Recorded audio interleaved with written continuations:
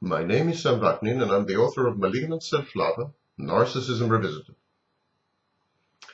Some narcissists rarely fail, but they are not roaring successes either. They linger in a limbo, somewhere between minimal attainment and mediocrity. They pass, but they never quite make it. They seem to fear and avoid failure and success in equal measures. How can this be explained?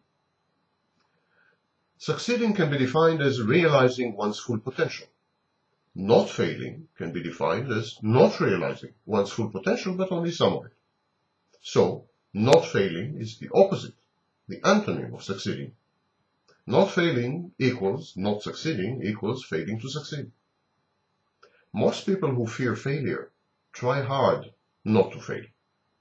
Since, as we have shown, not failing amounts to failing to succeed, such people equally dread success and therefore try not to succeed. They opt, in other words, for mediocrity. Not a failure, but not a success. In order to not succeed, one needs to not apply oneself to one's tasks, or to not embark on new ventures and undertakings. Often, such avoidant and constricted behaviors are not a matter of choice, but the outcomes of inner very strong psychological dynamics that compel them.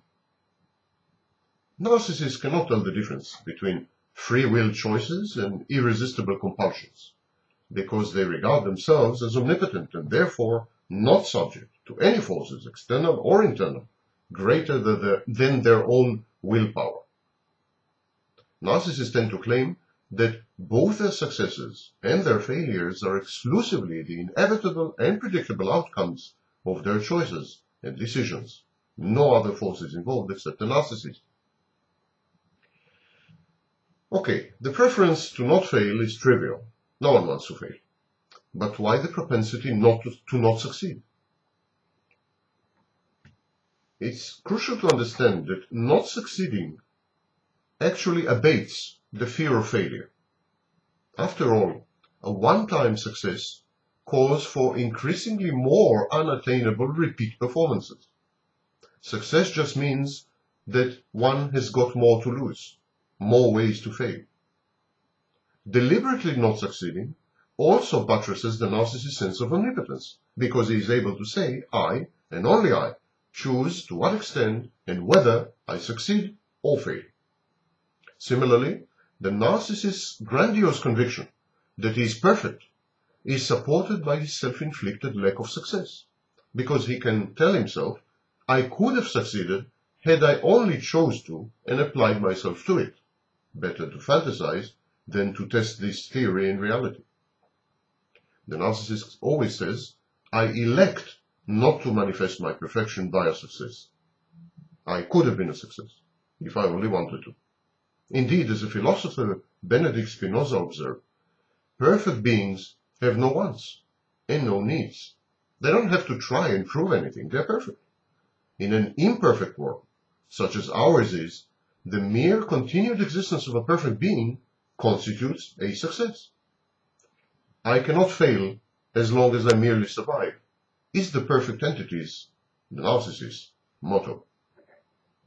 Many narcissistic defenses, traits, and behaviors revolve around this compulsive need to sustain a grandiose self-image of perfection, colloquially known as perfectionism.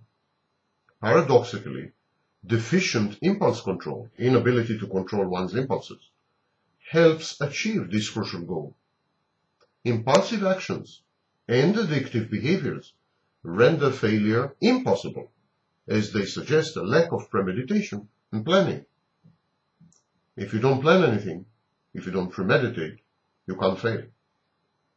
Moreover, to the narcissistic patient, these kinds of decisions and deeds feel immanent and intuitive, an emanation of his core self, the true expression of his quiddity, his being, his essence.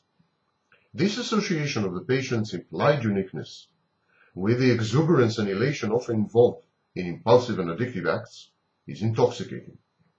It also offers support to the narcissist's view of himself as superior, invincible, and immune to the consequences of his actions.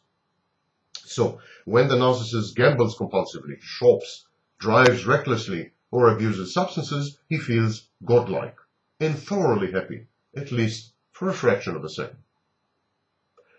Instant gratification, the infinitesimal delay between volition and desire and fulfillment. This small delay, short delay, enhances this overpowering sense of omnipotence. The patient the narcissist inhabits an eternal present, actively suppressing the reasoned anticipation of the future consequences of his own actions. Failure is an artifact of a future tense. You anticipate failure. You start something in the present and you fail in the future. In the absence of such a horizon, in the absence of a future tense, success is invariably guaranteed, or at least implied. Some narcissists, admittedly, are ego dystonic. They loathe their lack of self-control. They berate themselves for their self-defeating profligacy and self-destructive immaturity. But even then, their very ability to carry out the impulsive or addictive feat is, by definition, a success. If you succeed to gamble, succeed to shop, succeed to drive recklessly, you succeed. You are a success. The patient is accomplished at behaving irresponsibly and erratically. His labile self-ruination is his forte and his achievement as he masterfully navigates his own apocalyptic path to doom. Only by failing to control his irresistible impulses and by succumbing to his addictions is this kind of narcissistic patient able to act at all. Otherwise, he's paralyzed. His submission to these internal higher powers provides him with a perfect substitute to a constructive, productive, stable, and truly satisfactory engagement with the world at large.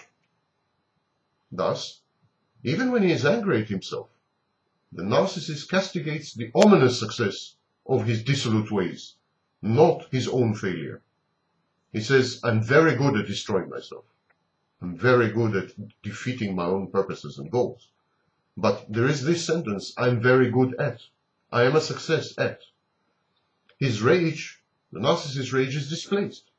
Rather than confront his avoidant misconduct, he tries to cope with the symptoms of his underlying all-pervasive and pernicious psychodynamics. Ironically, it is this ineluctable failure of his life as a whole that endows the narcissist with a feeling of self-control. He is the one who brings about his own demise, inexorably but knowingly.